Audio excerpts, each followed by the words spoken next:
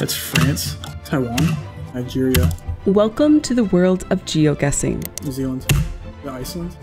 Maybe Ghana here is my best guess. where players guess where they are on a Google map based on one screenshot. Yeah, competitive Google Maps is the way I like to say it. Wired talked to geoguesser Trevor Rainbolt. If you look at this possum guard, those are distinct to Tasmania in Australia. There's an eastern road in North Macedonia where there's dead flies on the camera. to find out how he guesses countries in 0.1 seconds. Oh my god.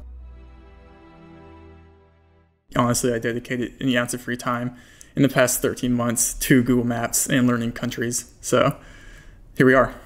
First, we had to see is what Trevor doing legit? So we put him to the test. Immediately, we're going to be in Latin America. We have short plates. We have white on the bottom. If I could see the crop here, it would maybe be more helpful. But I do think with the white painted pole bottoms in Spanish with short plates, I would probably guess Guatemala, assuming you cut off the car.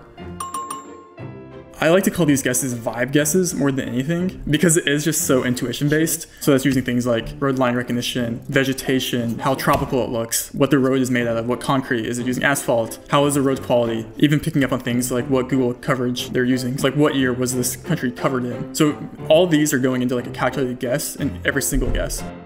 Now let's look at some tips and tricks for GeoGuessr.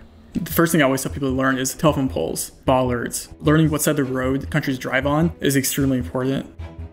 There's a couple of things that we're looking for on utility poles, telephone poles. You're looking at what it's made of, the design, if there's stickers on it, or different types of markings on the poles, because all these different things together are very helpful in going into an educated guess. There's different types of poles. There's ladder poles, there's holey poles, there's A-frame poles, there's hook poles, and then from there you have like, okay, this is wooden, this is concrete. 95% of the poles that are concrete in Australia are in Victoria. So if I see a concrete pole, I know I'm be Victoria. If I see a black sticker driving left with looking very tropical, it's gonna be mainland Malaysia. Or a blue sticker is in France on their telephone poles, and ladder poles are in Spain, Portugal, France. It's very, very helpful to learn these different types of poles and what different material each country uses on their telephone poles to help narrow down your guess. Bollards are pretty much just road markings in different countries. Every country, for the most part, has a distinct bollard. So pretty much if you see one bollard, you know you're going to be in that country. There's a website called geohints.com too that has like all the bollards listed out. That's like extremely helpful. It's like Denmark that has a yellow top, or you can go into more region guessing based off like Canada. Well, Alberta has black, white, black, white bollards, or Australia and Turkey have similar bollards where it's like white with a, a red strip, or New Zealand has white with a red strip, but the red strip goes from end to end.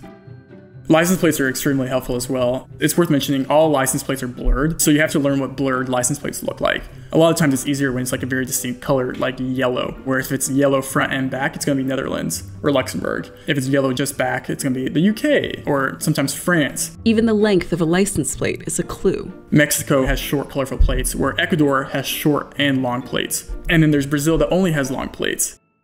Some spots are easily recognizable because of unique characteristics. Hmm. Sometimes it's the shape of the sign, The Hokkaido arrow sign, where it's pointing at the road line, it's only really found in where it snows really heavily in Japan, which is mainly in the north. and sometimes it's really just knowing about the Google Map car.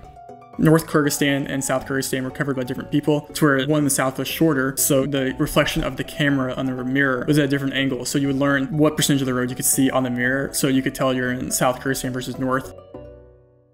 And if you've seen Trevor's TikToks, you know he's able to guess the location by literally just the soil. Soil guessing really goes into every single guess, but basically what you're looking at is you're looking at the color of the soil and overall the vegetation that's within the soil and around it as well. Is there more pebbles? Is there more grass? Is it more green? And then overall, it, it, a lot of it really is as much as I probably really couldn't describe it, but like some things just look like South Chile soil. Okay, round one here. We have light gray soil, very arid climate. I'm gonna go North Botswana here. Slightly more east, but was North Bots.